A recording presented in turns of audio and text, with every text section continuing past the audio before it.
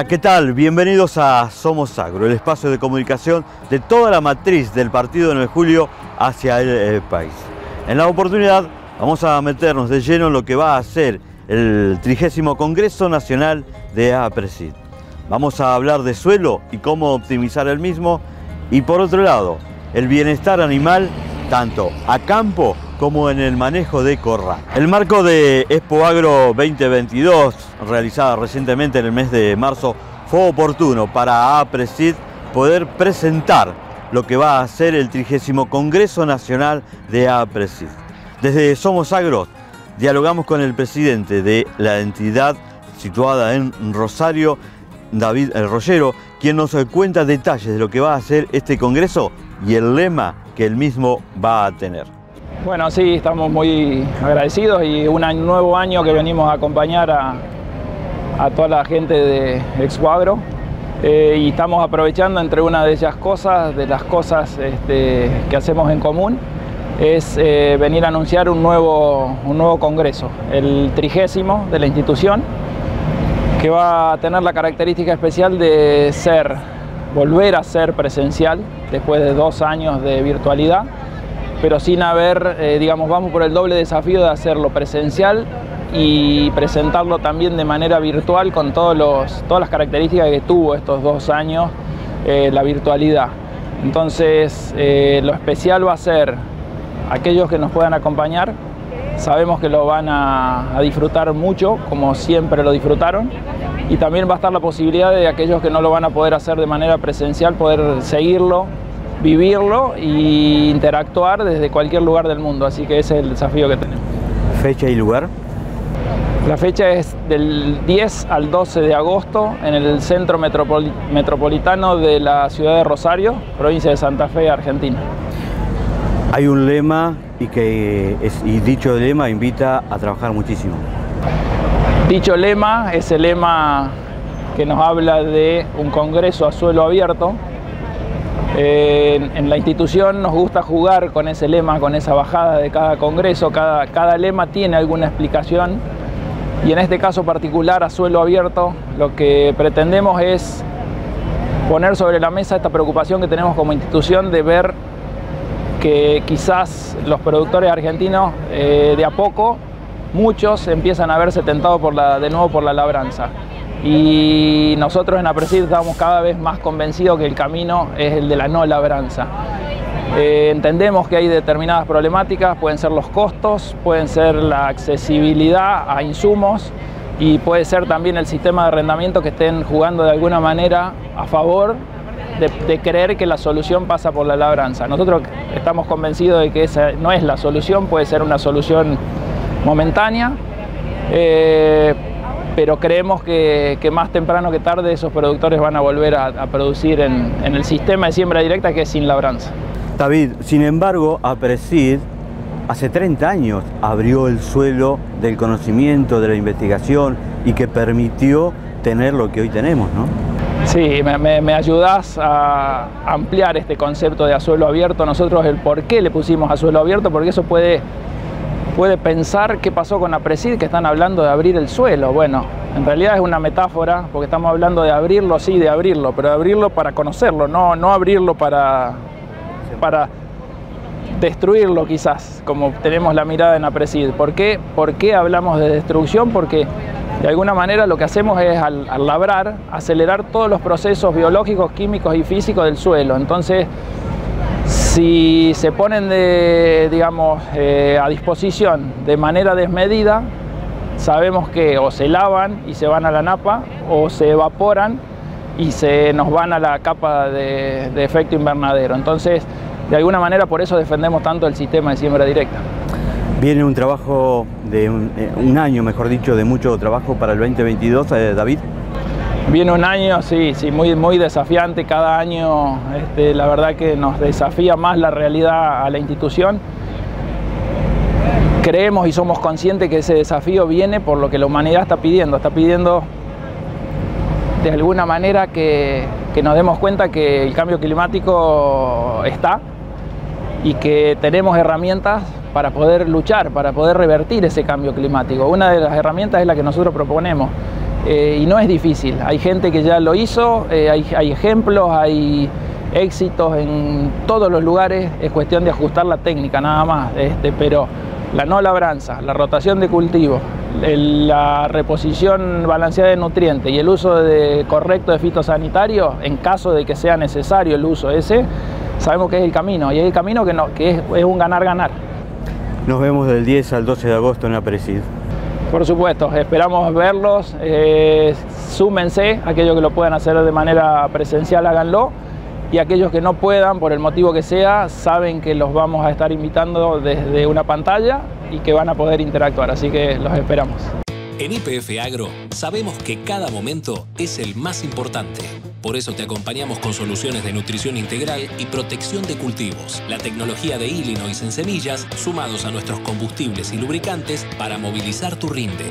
IPF Agro te acompaña en cada momento para que todo vuelva a empezar.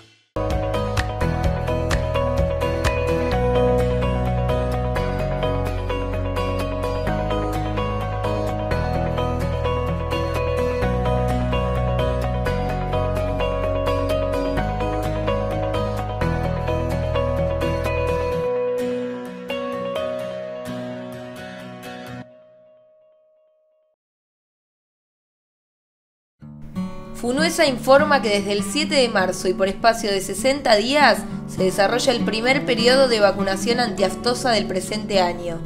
Simultáneamente con esta campaña se realizará la vacunación de brucelosis a las terneras de 3 a 8 meses de edad. Recuerdo que para todo movimiento de ingreso o egreso de Hacienda deberá estar cumplimentada la vacunación del periodo. Puede solicitar turno en FUNUESA, ubicado en Avenida Bedia 447 o al teléfono 430-170. Doña Aurora tiene la receta del sabor y más variedad para vos. Mozzarella tradicional y mozzarella sin sal. Con jamón, con orégano, con provenzal y hasta con sabor ahumado. ¿Cuál vas a elegir hoy? Doña Aurora, la receta del sabor. Y ahora, nuevos quesos para picadas. ¡Probalos! La madrugada,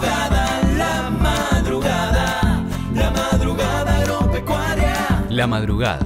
Venta de insumos para la producción agropecuaria. Semillas, agroquímicos, fertilizantes y todo lo necesario para que tu campo rinda más y mejor. La madrugada es tecnología, trayectoria, confiabilidad, marcas líderes y entrega a campo rápida. La madrugada, la madrugada, la madrugada agropecuaria.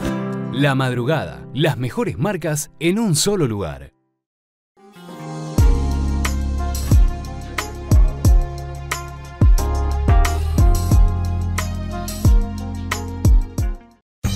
Carnicerías Don José Hermé. Calidad en carnes de novillo de producción propia. Además, cerdo, pollo, cordero y las mejores elaboraciones. Consulta las ofertas del día y solicita tu corte al teléfono 02317 404 507 o visitanos en Edison 1426. También en Avenida Cardenal Piroño 830, 9 de julio. Cooperativa Agrícola Ganadera Dudinac Limitada, 60 años contribuyendo a la ruralidad y comunidad de Dudinac.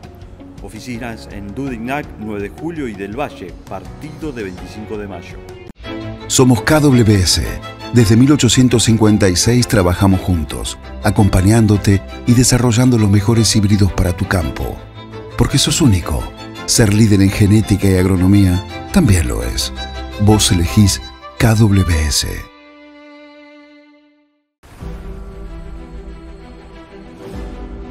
Todos los días usted, agricultor, ya enfrenta muchas incertidumbres. ¿Lloverá? ¿Cómo responderá el suelo? ¿Cómo estará el mercado? Y ahora con esta pandemia global, usted tiene nuevos desafíos por delante, pero puede estar seguro.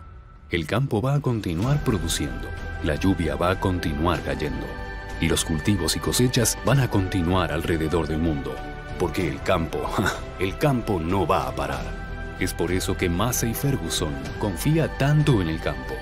Y durante esta crisis lo va a seguir apoyando a usted, con productos sencillos y confiables, con servicios sencillos y confiables, con los repuestos y servicios que necesite para seguir trabajando. con soluciones financieras flexibles para asegurar su negocio ante la necesidad, para que pueda seguir produciendo con total tranquilidad los alimentos esenciales para la población en cuarentena y prepararse para el día siguiente, para conducir al mundo hacia adelante. Y a pesar del necesario distanciamiento social en estos tiempos difíciles, Massey Ferguson y su red de concesionarios están más cerca que nunca para apoyarlo, porque el campo no puede parar durante la crisis. Confiamos en usted y quien confía lo hace con el corazón. Comercializa Agrotrack SRL 9 de julio, Pilmaiquén de Buflet Hermanos, Avenida Mitre 4097, teléfono celular 2317 41 74 67 o 425 092. En semanas más va a comenzar la campaña 22-23 con su siembra en lo que refiere a cultivos de invierno. Será una campaña donde tanto productor como agrónomos van a tener que optimizar todos los recursos. Uno de ellos es el suelo y fue lo analizado recientemente en la jornada Tribus donde dentro de lo que fue, además del análisis de cultivos de gruesa, también de cara a la próxima campaña se analizó cómo optimizar este recurso, el suelo, junto al ingeniero agrónomo Gonzalo Verón Garay, del CONICET y también de la Universidad Nacional del Litoral.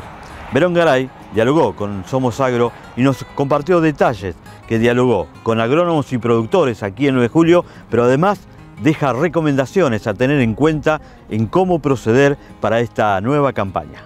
Perfecto, sí, eh, lo que estuvimos viendo hoy, eh, estuvimos analizando las rotaciones de, de la zona, las secuencias de cultivos, cómo eso impacta en la salud del suelo eh, y cómo la salud del suelo termina impactando en los rendimientos. Entonces, este, cómo hacer un manejo sostenible, cuidando el recurso y produciendo también un poco más. Eh, estuvimos viendo eh, sobre el manejo de la materia orgánica, cómo incrementar los niveles de materia orgánica eh, en estos suelos eh, en función del manejo y también el impacto de la fertilización, este, el uso de cultivos de cobertura, etc. Hoy tenemos un escenario también de altos precios de fertilizante, por lo que la eficiencia de uso de los fertilizantes eh, es un tema relevante. Hoy estuvimos discutiendo de cómo mejorar la eficiencia de uso de, nitrógeno, fósforo y otros nutrientes también. ¿Algún, ¿Alguna recomendación, conceptos de cómo optimizar, especialmente ante, ante este escenario que usted eh, planteó y se debatió hoy aquí? Bueno, una de las cosas que, sacamos en claro que la importancia que tiene el, nitrógeno de origen biológico o, o- o las reservas que tenemos en los suelos, ya sea de la materia orgánica, como también el aporte que podemos hacer a través de cultivos de cobertura, cultivos de servicio como vicia, este, el rol de las leguminosas en, to- en todo el ciclo del nitrógeno, cómo podemos este, aumentar eh, la fijación o este, la captura de nitrógeno desde, desde la atmósfera para, para aprovechamiento de los cultivos siguientes, como puede ser maíz o trigo.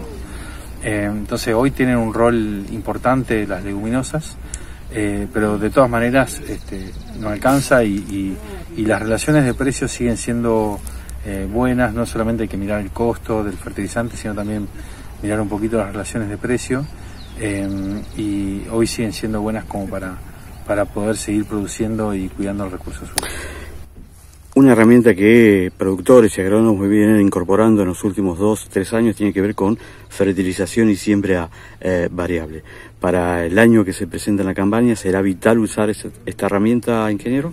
Sí, eh, venimos viendo eh, la zona, es increíble cómo se notan los, los ambientes, en muy pocos metros vemos variación de, de ambiente, estuvimos discutiendo los ambientes de loma, los tendidos, este, los lotes más productivos, este, la verdad que hay una diferencia de fertilidad eh, tremenda, hay una diferencia de oferta de nutrientes y hay una diferencia de, de capacidad de almacenaje de agua, de comportamiento hídrico de esos suelos frente a diferentes escenarios. Entonces, el manejo de, primero densidades de siembra, en el caso de, de maíz, este, como el impacto que tiene la densidad sobre, la producción y después el manejo nutricional que viene atado atrás de del manejo de densidad. Eh, ¿Qué conocimiento hay sobre la zona en cuanto a cómo viene el productor agropecuario invirtiendo en optimizar eh, su recurso suelo? Bueno, hay, hay de todo, la verdad que es, es bastante variable. Eh, estadísticas en general hay a, a- otro nivel, a otra escala, pero las estadísticas nacionales muestran en general eh, baja reposición de nutrientes. O sea, hay este, la reposición de nitrógeno, fósforo y otros nutrientes es, eh, es baja en general en promedio, aunque hay productores este, que vienen haciendo las cosas muy bien, que vienen trabajando hasta en nueve nutrientes. Siempre la recomendación es sobre diagnóstico para hacer las cosas bien, usar las buenas prácticas. La recomendación tiene que ver con hacer un buen diagnóstico de suelo, o sea, muestreo de suelo, este, muestreo químico, físico, ver este, sobre qué serie de suelo, en qué posición del terreno estoy trabajando, eh, y sobre eso, sobre un diagnóstico inicial, poder hacer la recomendación. Eh, usar los profesionales para hacer una- un correcto uso de aplicación. Eh, hoy muchos productores este, lo están haciendo bien, trabajando con nueve nutrientes, por ejemplo, ya no solo nitrógeno, fósforo, que son lo- los históricos, sino incorporando otros más, como azufre, potasio, calcio, magnesio, zinc, etcétera. Eh, eh, hoy tenemos base científica, digamos, los profesionales están capacitados para, para este, poder asesorar sobre esos temas. Eh, y hoy hay productores que los manejan, no solamente que los manejan y bien, sino que tienen este, resultados económicos muy positivos. En el capítulo de nutriente de potasio tenemos un importante DB en eso. Sí, eh, históricamente fue un nutriente que en la región pampeana eh, no, no se le prestó atención. Eh, los suelos, naturalmente los suelos de la región pampeana son ricos en, en muchos nutrientes, potasio es uno de ellos, eh, y apareció este, como un problema, sobre todo lo- los suelos este, en, en- Uruguay empezó a, haber deficiencias, luego este, en Entre Ríos empezaron a ver, yo, yo siempre lo grafico como si fuera un incendio, un fuego que viene este, viniendo de aquella zona y viene bajando, pero estos suelos que son este, más arenosos, este, donde el contenido de arcilla, generalmente el potasio está asociado a las arcillas, el contenido de arcilla es menor, eh, podemos encontrar este, deficiencias de, empezar a encontrar alguna deficiencia de potasio, sobre todo en algunos este, eh, establecimientos, por ejemplo, de tambo, en la zona hay muchos tambos también, siempre que cosechemos forrajes verdes, este, ya sea maíz para sí, con destino a silo, este, alfalfa, etcétera, la extracción en general de potasio es muy alta y ahí ya empezamos a ver algunas deficiencias. ¿Y la recomendación para cambiar eso? Hay mm, la- los, los fertilizantes potásicos, cloruro de potasio son de, uso común eh, para esta en, el mundo, o sea, el potasio es el segundo o tercer nutriente más utilizado en la agricultura del mundo. Acá en Argentina eh, es muy baja la adopción, pero es- es- están los fertilizantes. La, otra fuente tiene que ver con también en, donde existe la, posibilidad, la recuperación de, de- de desechos pecuarios, como puede ser este, de feedlot, de- de- de cerdos, de tambos, etcétera, residuos orgánicos que uno puede también aplicar, eso son ricos en potasio también. Gracias. En IPF Agro sabemos que cada momento es el más importante. Por eso te acompañamos con soluciones de nutrición integral y protección de cultivos. La tecnología de Illinois en semillas, sumados a nuestros combustibles y lubricantes para movilizar tu rinde.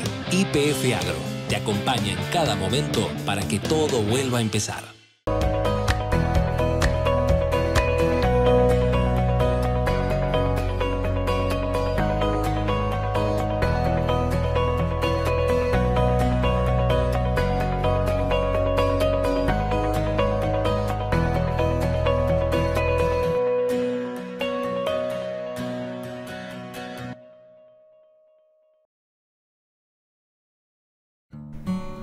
Informa que desde el 7 de marzo y por espacio de 60 días se desarrolla el primer periodo de vacunación antiaftosa del presente año. Simultáneamente con esta campaña se realizará la vacunación de brucelosis a las terneras de 3 a 8 meses de edad. Recuerdo que para todo movimiento de ingreso o egreso de Hacienda deberá estar cumplimentada la vacunación del periodo. Puede solicitar turno en Funuesa, ubicado en Avenida Bedia 447 o al teléfono 430-170. Doña Aurora tiene la receta del sabor y más variedad para vos. Mozzarella tradicional y mozzarella sin sal. Con jamón, con orégano, con provenzal. y hasta con sabor ahumado. ¿Cuál vas a elegir hoy? Doña Aurora, la receta del sabor. Y ahora, nuevos quesos para picadas. ¡Probalos! La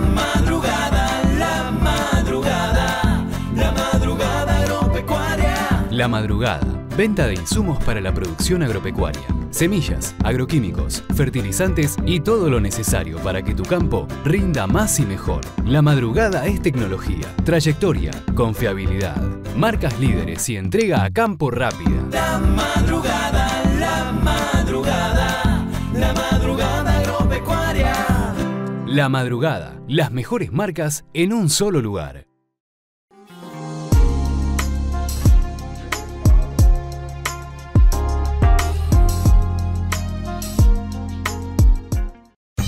Carnicerías Don José Hermé. Calidad en carnes de novillo de producción propia. Además, cerdo, pollo, cordero y las mejores elaboraciones. Consulta las ofertas del día y solicita tu corte al teléfono 02317 404 507 o visitanos en Edison 1426. También en Avenida Cardenal Piroño 830, 9 de julio. Cooperativa Agrícola Ganadera Dudinac Limitada, 60 años contribuyendo a la ruralidad y comunidad de Dudinac. Oficinas en Dudinac, 9 de julio y del Valle, partido de 25 de mayo. Somos KWS. Desde 1856 trabajamos juntos, acompañándote y desarrollando los mejores híbridos para tu campo. Porque sos único. Ser líder en genética y agronomía también lo es. Vos elegís KWS.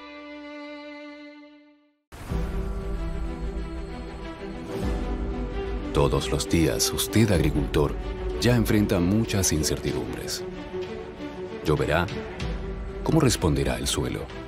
¿Cómo estará el mercado? Y ahora con esta pandemia global, usted tiene nuevos desafíos por delante, pero puede estar seguro. El campo va a continuar produciendo, la lluvia va a continuar cayendo, y los cultivos y cosechas van a continuar alrededor del mundo, porque el campo, el campo no va a parar. Es por eso que Massey Ferguson confía tanto en el campo. Y durante esta crisis lo va a seguir apoyando a usted, con productos sencillos y confiables, con servicios sencillos y confiables, con los repuestos y servicios que necesite para seguir trabajando, con soluciones financieras flexibles para asegurar su negocio ante la necesidad, para que pueda seguir produciendo con total tranquilidad los alimentos esenciales para la población en cuarentena y prepararse para el día siguiente, para conducir al mundo hacia adelante. Y a pesar del necesario distanciamiento social en estos tiempos difíciles, Massey Ferguson y su red de concesionarios están más cerca que nunca para apoyarlo, porque el campo no puede parar durante la crisis. Confiamos en usted, y quien confía, lo hace con el corazón. Comercializa Agrotrack SRL 9 de julio, Pilmaiquén de Bufflet Hermanos, Avenida Mitre 4097, teléfono celular 2317 41 74 67 o 425 092. Hablar de bienestar animal es hablar de cambios de cultura, cambio de mentes y en ese marco, recientemente en el mes de febrero, se desarrolló en Cabaña La Querencia una jornada sobre bienestar animal. Organizada por la empresa Mecano Ganadero, en dicho establecimiento agropecuario, el bienestar animal es primordial en el manejo de los animales. Para ello se contó en esta jornada con la disertación y la capacitación del consultor agropecuario Marcos Jiménez Zapiola. Jiménez Zapiola, allí a productores, dejó distintos conceptos que tienen que ver en el manejo, tanto a, a campo como en el corral y en la manga de los animales. Dialogamos con el consultor agropecuario sobre este tema y nos refirió a algunos conceptos a tener en cuenta a la hora de mejorar el bienestar animal de nuestro ganado vacuno de los animales este, es paralelo al bienestar de los, de los humanos, empezando por el de los trabajadores de ganado, que este, eh, con el sistema del maltrato este, sufren muchas consecuencias negativas. Ellos también, no diré que tienen machucones, sino que a veces tienen cosas más eh, negativas y más duraderas este, en cuanto a lesiones y, este, y demás este, que, que los vacunos. Marcos, eh, de hace unos 10 años en la Argentina se está hablando fuertemente en esto del bienestar animal, pero usted ya hace un- más de dos décadas trabajando en esto.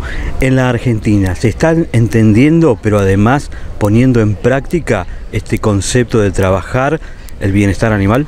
Si yo lo comparo con eh, la época en que empecé, allá por el 95, sí, sí, o sea, hay un montón de cosas que en esa época eran este, mm, no solo eh, insólitas, sino que eran rechazadas. O sea, la misma idea del bienestar animal era rechazado en general eh, eh, porque la gente, los ganaderos, muchos de ellos consideraban que era una eh, falsa exigencia de los este, clientes de la Unión Europea, sobre todo, pero también de Estados Unidos, eh, para ponernos una barrera para la encelaria y que bueno, que nosotros además trabajamos fenómeno, pues nosotros los argentinos somos los mejores del mundo, eso ya se sabe, ¿no es cierto?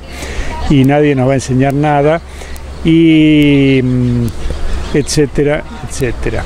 Entonces, este, mm, ya la actitud en general era negativa de un falso nacionalismo y un falso amor propio.